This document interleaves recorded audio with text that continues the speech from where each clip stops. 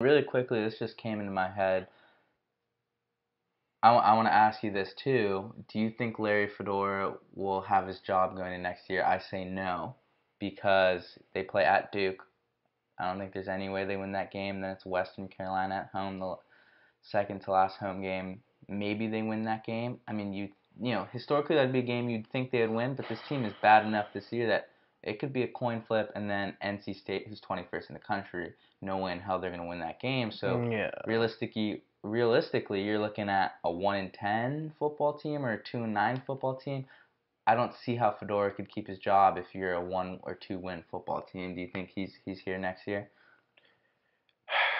Yeah, I think so. Just because that you you have, even though I don't agree with it, you have the argument that they've just been tremendously unlucky throughout the season. I think he's going to keep his job. I mean, the recruitment class again, like I've I've mentioned that a bunch of times in defense of Fedora, but I think his recruiting has been up to par, and he can ju- if he can just have those guys play on the field for him while he's coaching, and then maybe get one more recruitment class, like he has a chance to rectify his past, but I don't think he's going to get fired. Yeah, and and the one thing I wonder about too is what the players think of Fedora.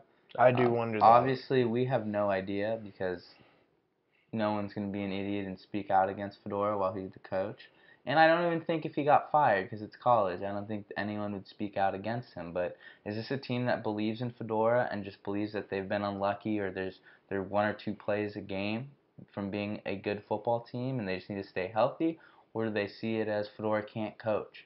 And they need someone new that can instill a new culture. Because you know the one thing is this team hasn't given up. They haven't folded in. They've I think played yeah, they, competitive, they've yeah. they've had very competitive games. I mean, a lot of the past games, we've been in it. It's not, it doesn't look like oh we just gave up uh, this tank season or anything like that. Like, it doesn't look like the players have turned in this into a mutiny. I mean, they're competing hard every time. It's just that last little the last few minutes of the game for us recently have just not been good.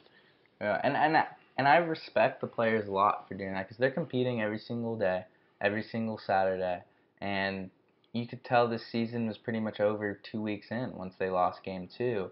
It's similar to what happened with the Raiders, but and and the Raiders are my other uh, my other football team, both one and seven, and that team has completely given up. That Um, they lost was it 34 to 3, 31 to 3 to Cut Nick Bruce Mullens and the Niners. Yeah, y'all lost Um, to the Niners, man. Yeah, it's With it's, the third string. it's tough and and you know the one good thing about the Tar Heels if you contrast it to the Oakland Raiders is they haven't given up.